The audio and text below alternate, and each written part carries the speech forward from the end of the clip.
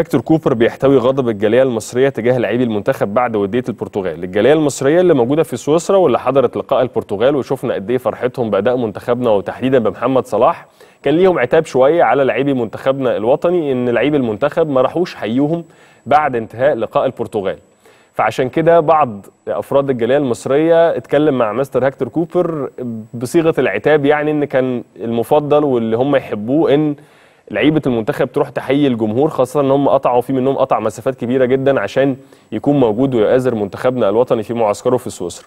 مستر هيكتور كوبر اتكلم مع اللعيبة وقال لهم إن مهم جدا بعد لقاء اليونان يبقى في تحية للجماهير اللي جت من مناطق كتيرة ومن أماكن كتيرة وحتى من بعض البلاد الأوروبية المجاورة لسويسرا عشان تحضر